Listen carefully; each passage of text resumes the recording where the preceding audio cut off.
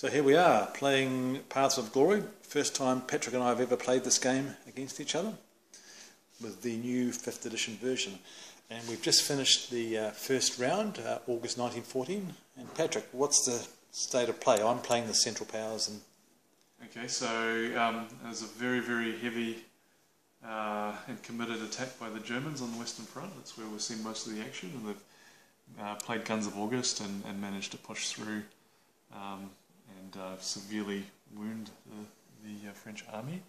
And we've seen a little bit of action on the Eastern Front with um, some Russian attacks along the Austrian border. Um, the thing that's saving the Allies right now on the Western Front is the fact that the uh, Germans have yet to play Race to the Sea, which stops them entering these three spaces. Uh, so we're about to start September 1914, so it'll be interesting to see what happens. Yes, so that's it. So uh, this certainly is bringing back memories. Last time I played this was over a decade ago. Okay, so we've just finished uh, September 1914 and we've moved into the fall of 1914 and the Allied powers, Patrick, have moved into limited war and I'm unfortunately still at mobilisation. Okay, uh, Patrick, do you want to do a quick rundown of what happened in? Uh, uh, yep. So the Western Front was a lot quieter this um, this season, but um, still there were still a few battles. The, the, British have now come in in force. They've got two strong armies, which is certainly helping anchor the, the front on that side. Still been pretty some um, consistent attacks on from the Russians on the Austrian front, and it's been a bit of a sally out with the Germans um, other than that, it's been a term where we've played some reinforcements and, and some replacements. So, yep, that pretty much sums it up. Uh, so this is the situation at the end of the fall term, 1914, beginning of winter, 1915. And um, Patrick, give us a rundown of where we're at. Okay, so on the Western Front, there's been some major German attacks which have severely attritioned the, the French and British armies. Um, but the Germans haven't uh, pushed forward to the front of the line to, to, to apply that strategic pressure. So a bit of breathing space, but still. Uh, I was just I was just saying to Patrick that um, I, I, sort of had him in disarray there along the front, but due to my lack of experience with the game, I didn't push ahead enough because I was concerned about my supply lines. But I think a more experienced player would have probably been threatening Paris by now. Uh, on the eastern front, there've just been some few more minor attacks from the Serbs and the um, the Russians, uh, and nothing really that much has happened. Although one thing that has happened is that uh, the uh, Allies have managed to play a huge number of reinforcements this turn, which have led them to be able to rebuild the French and British forces quite significantly. And um, the, Allies, oh, the, and the Germans are uh, so the Central Powers are finally at um, limited war. So that's the situation, and. Um, back shortly. Okay, it's the uh, beginning of spring 1914. Sorry, 1915. And this is the situation. You want to give us a quick rundown, Patrick, how that last turn went? Okay, so on the Western Front we have um, there was a French attack and a German counterattack. Again, they've been driven away from the front line, so but it hasn't been hasn't been too bloody there. On the Eastern Front, it's been far more bloody of um, strong Russian uh, army, three armies coming up against the Austrians and driving them right back, uh, and also the Serbian army pushing the uh, the Austrians back. The Austrians having taken huge number of casualties and uh, struggling a little bit. Uh, that's about it, really. Yep. No, no, uh, no action down. No action in the Near East. And that's it. So um, Patrick managed to drag uh, my attention away from the Western Front um, with some pushes there which um, have uh, hurt the Austro-Hungarians badly and stalled my uh, progress here. So let's see if I can swing it around next turn. This is the beginning of summer 1915 and um, let's take a look at the map. So on the Western Front, what's going on Patrick? On the Western Front, uh, the Allied line has solidified somewhat. Um, there hasn't really been that many. There's been one attack, but other than that, there hasn't really been much. So there's a very strong British force here.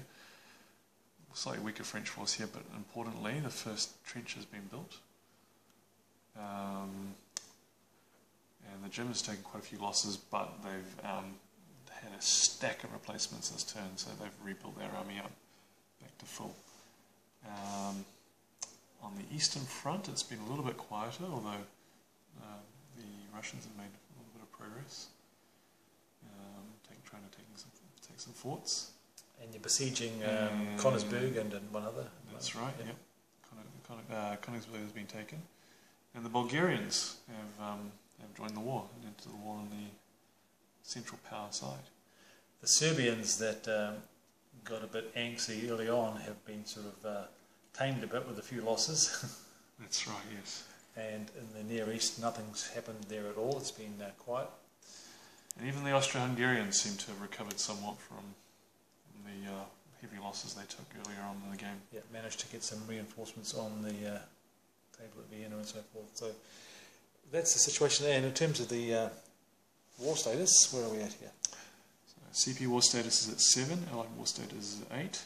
Of course, to get to total war, you have to get to 11. And the victory points is on 10, so she's 10. pretty even, isn't it? Completely even, yeah. And um, thoughts on the game, having played it again for uh, after many years, Patrick? Um, yeah, it seems to. The rules have seemed to come back into my head surprisingly easy. Easier than I expected. Um, Has the game pretty- stood, I'm surprised I was able to just get straight back into it really without having a reread of the rules. and has the game stood the test of time? Oh, absolutely, yeah. It's a, it's a great game. It's um, really uh, evokes that sense of balancing fronts and attrition and yeah, it's good. Okay, so that's um, we've been playing for uh, three, four hours, I think, and we've managed to get to turn six, and we'll be leaving it here. So hopefully we can get back to it and finish it at some stage. This is the situation at the beginning of fall 1915, and it's been a uh, hectic time on the Western Front. But just before Patrick covers that, just to look at the uh, records track, the Allied war status is at 8 and the CP war status is at 7, so pretty close there. And um, no other movement on the uh, commitment track or the capitulation track. Um, so, yeah, Patrick, tell us what's going on in the uh, battlefront. Okay, so there's been a lot of action over here on the Western Front. Um, the, there's been a bit of to and fro here with a, a German attack into Ostend, which was then counter-attacked by the British. And the British have been um, attacking quite strongly on the west of the Western Front, uh, whereas the Germans have been attacking here towards the east of the of Western Front. They've managed to take another fort, the fort of Verdun, I think it is, or Nancy, sorry. Um, and again, the French are really, really um, suffering in terms of losses. Um, So, in French language, how are the French feeling at the moment? uh, un peu uh, battu. um, in the east, it's been uh, a bit quieter actually. Um, there hasn't been much action except for a German army being eliminated here. Um, But you've taken a fort up in the Ah, yes, fort, that's right. The Königsberg has fallen, and so has the, the fort of uh, Przemysl. So um, the Russians seem to be quite dominant in this area. Uh, and we've this turn seen the uh, arrival of the Caucasus Near East Russian Army to put a bit of pressure on the uh, on the Turkish. Uh, the other thing to be said is that the um, the Central Powers played huge number of replacements this turn, and um, the German armies on the Western Front seem to be quite nicely replenished. Um, yeah, they seem to be getting the better of the replacement war, I guess would be the way to put it. Okay, so that's the uh, end of uh, turn six, beginning of turn seven. Back short. Okay, we're at the beginning of winter 1916, and uh, the um, Allies have made some significant gains, getting uh, down to five victory points, and um, they're one off total war, and I'm uh, at eight, so three off total war. Looking at the map, Patrick, where are we at? Okay, uh, well, on the Western Front, it's again been very, very bloody for the for the British this time, who took severe losses. The French, safe behind their trenches, were, were pretty much okay. Uh, the Italians have entered the war and uh, haven't done very much, but um, started to see some reinforcements drawn out into that side.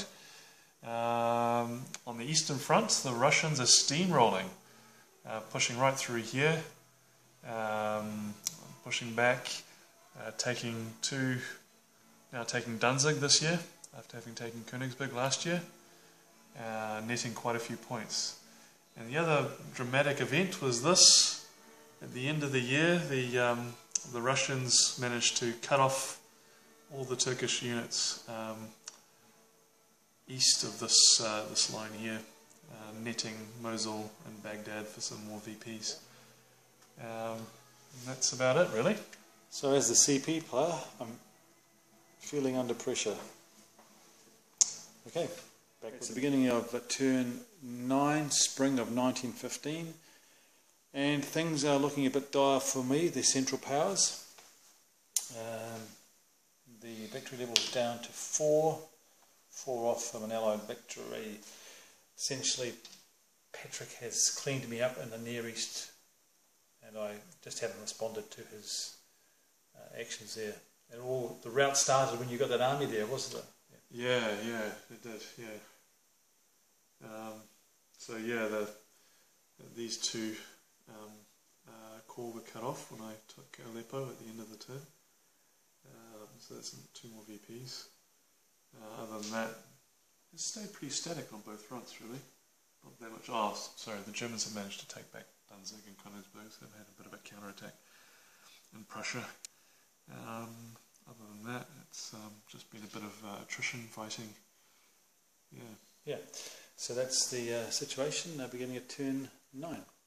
Okay, it's the end of the ninth turn, and the uh, Central Powers, myself, have capitulated. I am sorry to say, uh, looking at the track, the um, Allies are on three, so pretty close to a victory on the track but there were some quite significant developments in the uh, in this round. As you know from the previous round uh, in the Near East, um, the Allies had the Central Powers on the ropes completely, and uh, then an opportunity arose for the um, Austro-Hungarians to um, make some uh, inroads into Italy. Do you want to explain what happened there, Patrick? Yeah, so there's just a weak Italian force in Udine, uh, which the um, the Austro-Hungarians beat, forcing them to retreat two spaces. And they stupidly retreated from there, from Udine to Venice to Bologna, allowing the, um, the Austrians to take Venice and cutting off this third and fourth Italian army. There was only an Italian army and one corps here. Um, so Italy was facing um, destruction of two of its armies um, with no real prospects for any relief from any other side. Um, and so there were two strong Austrian um, armies here. They, they reduced the Italian army even further, and on the following turn they decided to capitalize on their gains and um, rush through with no corps support from any other direction, moved down to Viterbo, taking Florence, and the other one went to Milan, uh, leaving a, a, huge gap where a Italian uh, corps came back took Venice, thereby putting both of them out of supply and re um, putting the uh, two Italian armies out of supply, which is it completely flipped the game. I um, um, I just totally missed uh, the connection here and brought the Italian uh, the Austro-Hungarians up here, and then when I saw it, it was like, that's it, the war is lost, and um, I mean, if it was that, uh, I mean, that, that was pretty much the potential balancing factor, but um, on all other fronts, it was looking pretty sad. Even on the Western Front, the Allies had started making quite a significant comeback with um, German attrition starting to tell. No corps in their reserve, and we, the Allies actually did manage to destroy a German army permanently due to there not being any reserves. Um, so yeah, it was looking pretty pretty dire for the Central Powers, as can be um, noticed with the, the, victory point situation as well. So it's lived up to his reputation as a brutal game. If you make an error, it can um, one error in the supply line can just destroy you, as was um, exampled here. So that's um, Paths of Glory after uh, what uh, since 2002 since I last played it. And Patrick, when did you last play it? Uh, oh, maybe 2012, 2011, sometime around And then. thoughts on the game again? Uh, surprisingly easy to remember the rules and to, um, I thought, you know, I mean, look at the rule book. It's, you know, it's pretty daunting, and yet, actually, it was not that hard to get back into it. And actually, this this player aid here, I've got to say, whoever came up with this, it's a real um, comfort for your mind, and it just lists all the exceptions in one place. And I think with this, armed with this, um, the, the rules actually become very, very straightforward. Okay, so um, as a um, the victory uh, meeting where I, I surrender, I give um, give Patrick his uh, his prize, a copy of um, Yardmaster Express for his um, great victory in Europe. Thank you. But we will Um, meet again. Very, very gracious enemy. Um, I'm sure we'll, we'll treat you well.